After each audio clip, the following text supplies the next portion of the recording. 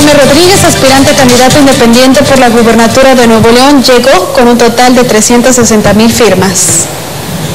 El aspirante a precandidato independiente por la gubernatura de Nuevo León, Jaime Rodríguez Calderón, acudió este lunes a la sede de la Comisión Estatal Electoral a entregar 145 mil firmas que se suman a las 215 ya proporcionadas anteriormente, lo que da un total de 360 mil firmas, triplicando las 103 mil que le pedía el organismo electoral para su registro. Nuestro objetivo al inicio era eh, evidentemente lograr las 103 mil, pero encontramos una gran emoción en la gente en la calle y hemos logrado este gran eh, reto. Esto demuestra que Nuevo León va a ser un ejemplo en el país. Pues yo me siento muy comprometido.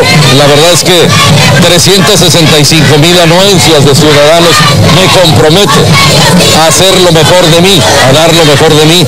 El Bronco, como es conocido, informó que a lo largo del día recaudarán más firmas que serán entregadas antes de la medianoche, que es cuando vence el plazo de entrega para los candidatos independientes. Posteriormente, la Comisión Estatal Electoral tendrá 10 días para aprobar el preregistro del aspirante.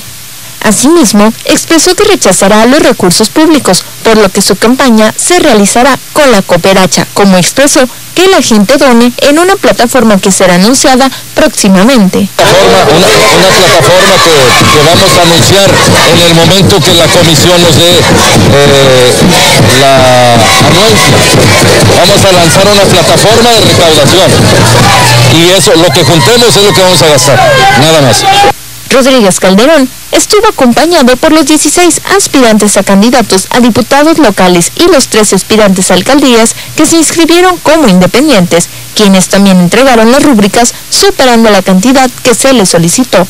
Con imágenes de Jorge Enrique Parra, reportó para Radio y Televisión Nuevo León, Katy Garza.